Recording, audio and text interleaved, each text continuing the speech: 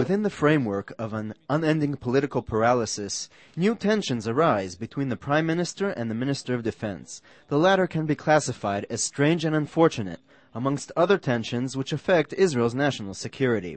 A phone conversation between Peretz and Abu Mazen caused a new crisis between the Minister of Defense and the Prime Minister, who was very angry about this intervention in a relationship which he thought was exclusively his business. Olmert told Peretz to stop these conversations, and Peretz replied, הדבר הקל ביותר לומר שאין סיכוי ואין עם מי לדבר וצריך לוותר על האופציות המדיניות הקיימות.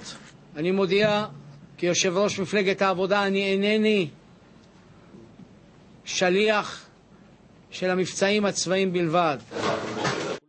And here's a summary of Peretz's report to Olmert regarding his conversations with Abu Mazen.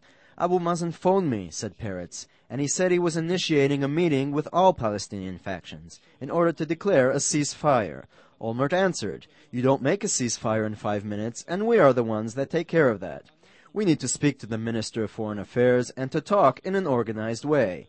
Peretz interrupted him and said, I am not a minister of attacks. I am the head of the peace camp. I am the only one who is qualified to speak about a ceasefire.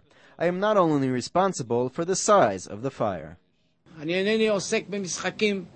אני דיווחתי לראש הממשלה על כל פרטי השיחות, ואני מאוד מקווה שאכן אנחנו נמצה את הסיכוי ליצור מצב חדש שבו יש הפסקת אש. Olmert's office blames Peretz for revealing the details to the press in order to harm the prime minister. Olmert's assistants believe this harms the efforts to reach a ceasefire and depicts Abu Mazen as a man who relies on Israel to reach an understanding in his own camp. And here's how political interests to establish a dialogue with the Palestinians are mingled with the personal interests of politicians who can't even have a dialogue between themselves.